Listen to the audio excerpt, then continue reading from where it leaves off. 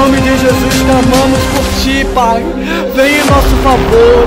Pai querido, perdoa as nossas falhas.